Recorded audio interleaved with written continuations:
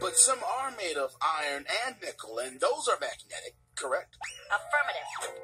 And some are made of stone, and magnets don't stick to those. Let's just make that clear, all right? Yes, ma'am.